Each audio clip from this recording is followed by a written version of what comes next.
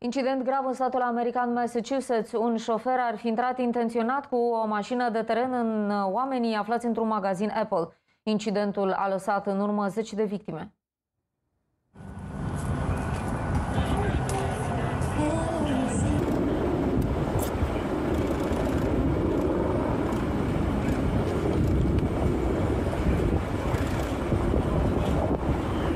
Cel puțin o persoană a murit și alte 19 au fost rănite după ce un șofer și-a condus SUV-ul direct într-un magazin Apple. Unii dintre răniți au ajuns la spital în stare critică și au fost operați de urgență. Cea mai mare parte a victimelor se aflau în interiorul magazinului la momentul producerii incidentului. Au existat însă și victime din rândul celor care au avut ghinionul de a trece pe lângă magazin în acel moment. Șapte mașini de pompieri și 14 ambulanțe au intervenit la fața locului pentru a ajuta victimele. The police department and Hingham Fire Department responded, uh, found multiple patients injured out in front of the store and in the store, including a few patients that were pinned against the wall by the vehicle.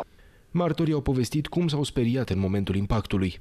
all of a sudden like, I heard like a big explosion. a huge bang. There were a lot of people that were on the ground, and there were a lot of people running out of the store. Poliția nu cunoaște deocamdată motivele din spatele gestului șoferului. Acesta a scăpat teafăr în urma incidentului și se află în arest.